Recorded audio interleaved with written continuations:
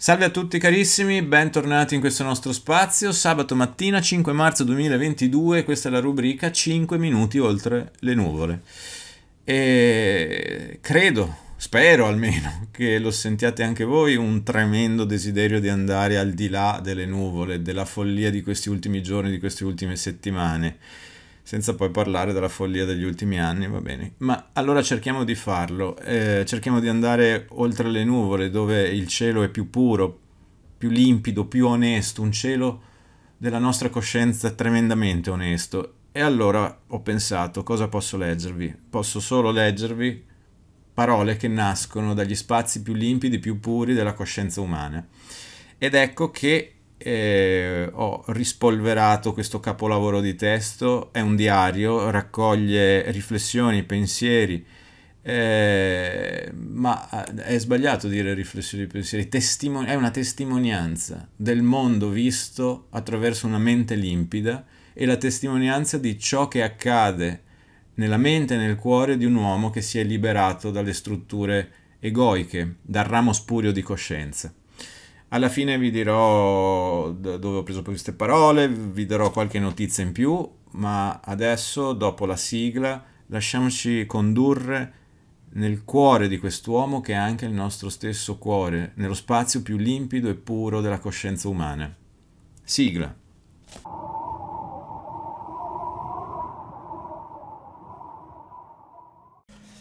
«23 gennaio. Gli alberi erano spogli, Ogni foglia era caduta.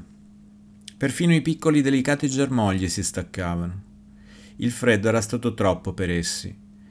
C'erano altri alberi che conservavano le foglie, ma queste non erano troppo verdi. Alcune si stavano scurendo. Era un inverno eccezionalmente freddo. C'era neve alta su tutte le balze inferiori dell'Himalaya, neve spessa alcuni metri, e nelle pianure per alcune centinaia di chilometri era freddissimo.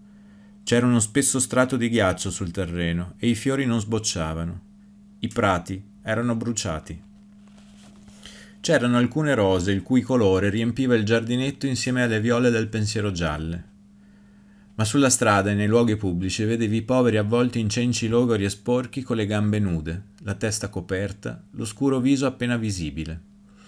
Le donne avevano ogni sorta di roba colorata addosso, con bracciali d'argento o un qualche ornamento attorno alle caviglie e attorno ai polsi. Passeggiavano liberamente, con naturalezza e con una certa grazia. Si tenevano benissimo. Molti di loro erano lavoratori, ma la sera, quando tornavano alle loro case, in realtà capanne, accadeva che ridessero, si stuzzicassero a vicenda, e i giovani gridavano e ridevano molto più di quegli anziani. Era la fine del giorno e loro avevano lavorato duramente tutta la giornata. Sarebbero stati esausti molto presto e avevano costruito case e uffici in cui non avrebbero mai vissuto e mai lavorato. Tutte le persone importanti passavano in macchina e questa povera gente non si dava mai neppure la pena di guardare chi passasse. Il sole stava tramontando dietro un qualche ornato edificio, in una bruma che era stata nell'aria tutto il giorno non aveva alcun colore, alcun calore, e non c'era un fremito fra le bandiere di diversi paesi. Anche queste bandiere erano stanche, erano semplici stracci colorati. Ma quale importanza avevano assunto? Alcuni corvi bevevano una pozzanghera e altri corvi arrivavano per avere la loro parte. Il cielo era pallido e pronto per la notte.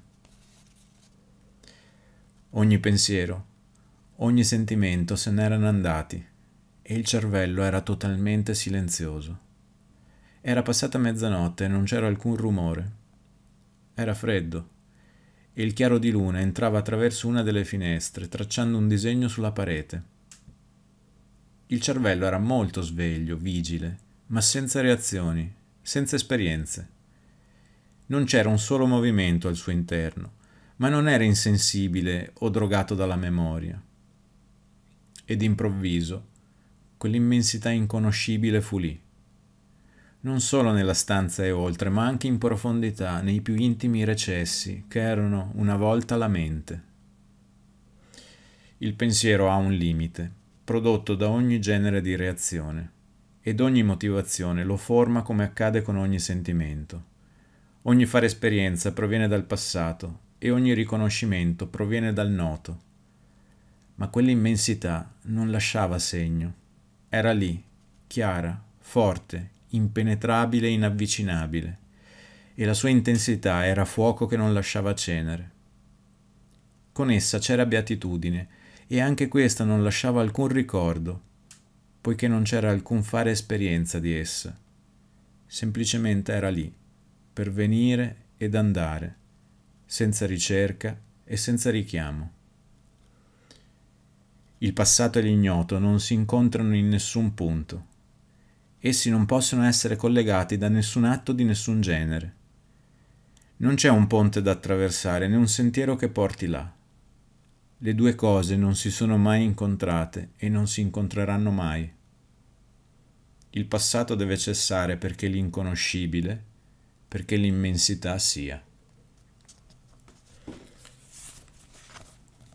Eh, taccuino di Jiddu Krishnamurti. Vi ho letto eh, l'ultima registrazione, questo testo è um, una raccolta di sue registrazioni che faceva uh, durante i suoi eh, infiniti viaggi, però nello specifico queste registrazioni partono il 18 giugno del 1961 eh, a New York e terminano appunto quest'ultima che vi ho letto il 23 gennaio a Bombay se non sbaglio no, sbaglio, a Nuova Delhi.